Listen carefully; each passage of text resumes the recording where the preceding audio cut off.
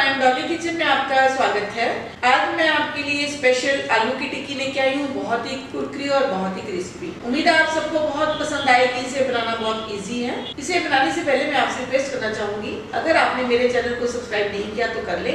और मैं आपको एक बात और कहना चाहूँगी की आप बेल आइकन ज़रूर दबाए, क्योंकि बहुत से लोगों के कमेंट आते हैं कि उनके पास मेरी वीडियो की नोटिफिकेशन नहीं पहुँचती तो आप बेल आइकन को दबाएँ ताकि मेरी हर वीडियो की नोटिफिकेशन आप तक पहुँच जाए। तो चलिए देखते हैं कैसे बनाते हैं आलू की टिक्की साबूदाना के पकोड़े या टिक्की बनाने के लिए हमने ये लिया है आलू। दो आलू बॉयल हमने क्रश कर लिए अच्छे से मैश कर लिए हैं हमने।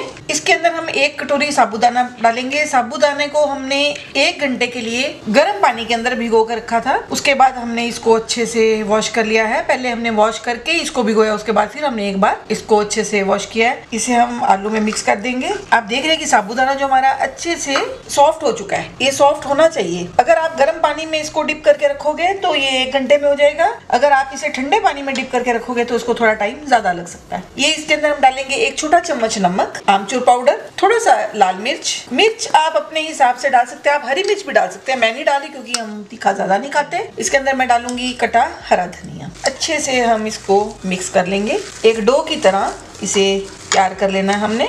तेल को मैंने गर्म होने के लिए रख दिया है। ये हमारा डो तैयार हो चुका है। इसकी हम इस तरह से टिक्की बना लेंगे।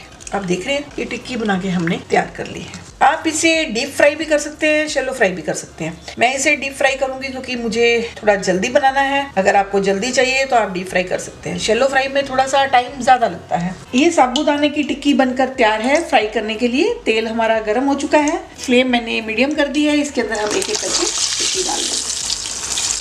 तीन टिक्के मैंने डाली हैं। फ्लेम को थोड़ा सा मीडियम कर देंगे क्योंकि एकदम फ्लेम हाई पे ये बाहर से ब्राउन हो जाएगी और अंदर से इसका कच्चापन रह जाएगा। डीप फ्राई के अंदर ये ध्यान रखना ज़रूरी है। तेल में डालने के बाद फ्लेम को कम कर देना है ताकि अंदर से पूरी तरह से पक जाए। आप देख रहे हैं टिक्की जो है हमारी बन के तैयार है। इसे हम किचन टॉवल पेपर पर निकाल लेंगे। इसी तरह से हम दूसरी टिक्की को भी फ्राई कर लेंगे। ये हमारी साबूदाने की टिक्की बनकर तैयार है। बहुत अच्छी डिश है। इसे आप ट्राई ज़रूर करें। इसे बनाएँ। इसे आप दही के साथ, चटनी के साथ ब्रेकफास्ट में भी ले सकते हैं, लंच में भी ले सकते हैं और स्नैक्स के अंदर भी इसे ले सकते हैं। अगर आपको मेरी ये रेसिपी पसंद आती है तो प्लीज़ मेरी वीडियो को लाइक करें और मेरे चैनल को सब्सक्राइब ज़रूर करें। Thank you.